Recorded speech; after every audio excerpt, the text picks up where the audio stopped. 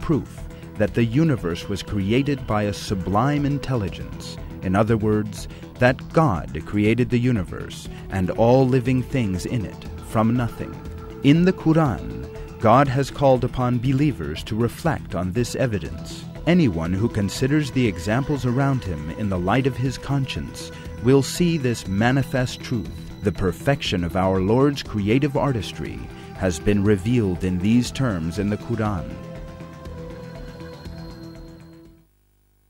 You will not find any flaw in the creation of the All Merciful. Look again. Do you see any gaps? Then look again and again. Your sight will return to you dazzled and exhausted.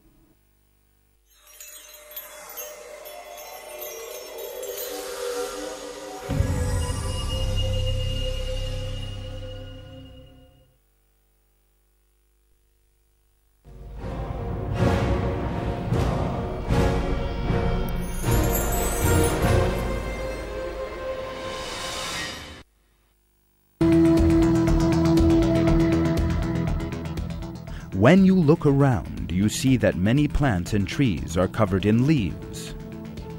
From a distance, you might imagine that branches and leaves are arranged at random, haphazardly.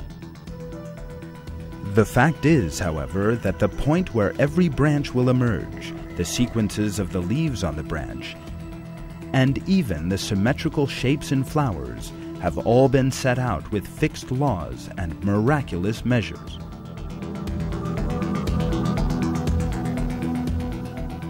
Plants have been abiding by these laws to the letter since the moment they were first created. In other words, not a single leaf or flower emerges by chance. How many branches a tree will have, where the branches will spring from, how many leaves a branch is to have, and the arrangement of those leaves have all been determined beforehand. In addition, every plant has its own unique branching and leaf sequence laws.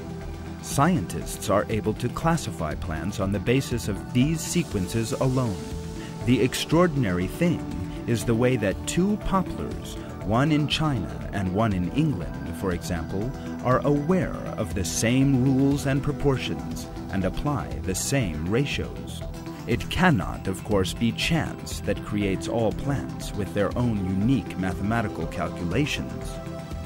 The creator of this beauty and flawless form is omniscient God. As is revealed in the Quran, He to whom the kingdom of the heavens and the earth belongs, he does not have a son, and he has no partner in the kingdom. He created everything and determined it most exactly. Let's perform a brief count of the leaves of this plant in the pot. Let's continue counting until we encounter another leaf on the same level. At this point, let us also remember the number of turns we made around the stem. The two numbers we obtained, the number of leaves and revolutions, will be the first two numbers we see in the Fibonacci series. Had we begun counting in the opposite direction, then we would have obtained the same number of leaves, but at a different number of revolutions. The number of turns in each direction and the number of leaves encountered during these reveal three consecutive Fibonacci numbers. These sequential forms may be circular or spiral, depending on the species of plant. One of the most important results of this special sequencing is that leaves are arranged so as not to cast shadows over one another.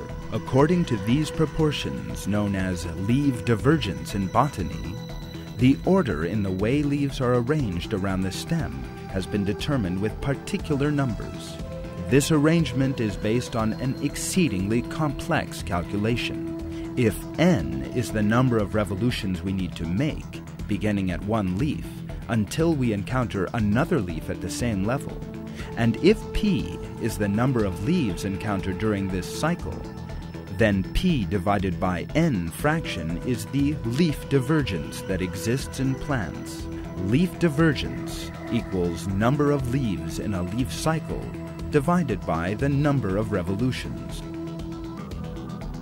Fractions peculiar to some plants are as follows 1 over 2 in meadow plants, grasses, 1 over 3 in marsh plants, 2 over 5 in fruit trees, apple trees, for example, 3 over 8 in banana species, 5 over 13 in bulbous plants.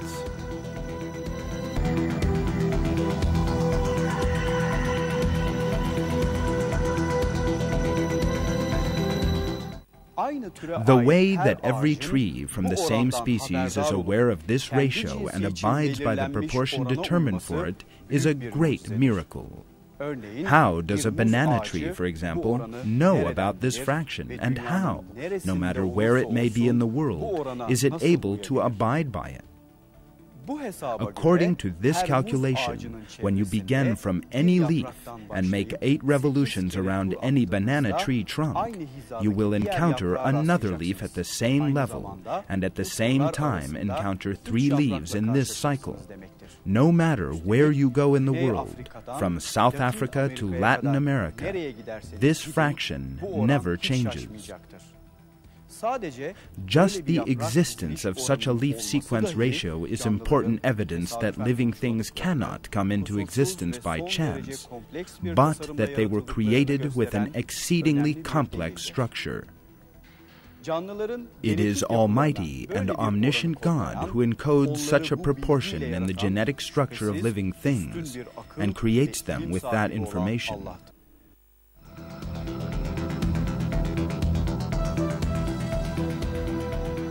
The numerical miracles we encounter in plants go further than these. Although the branches we see on the trees around us may appear to be arranged haphazardly at first glance, they too are actually arranged according to an exceptionally complex plan and mathematical calculation.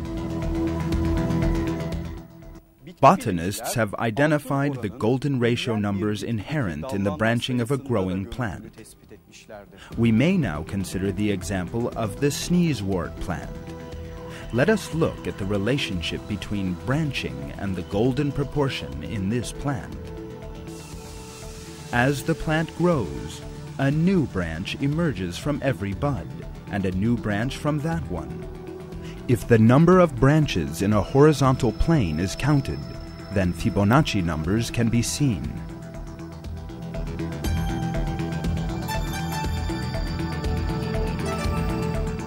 The Fibonacci series is an important key to understanding the fine calculation and arrangement in plants. This shows the order and aesthetics in leaves and flowers arranged according to the Fibonacci series. The fact that plants are shaped according to specific mathematical formulae is one of the most evident proofs that they have been specially created. The sensitive measures and balance in plant atoms and DNA also exist in the plant's external appearance.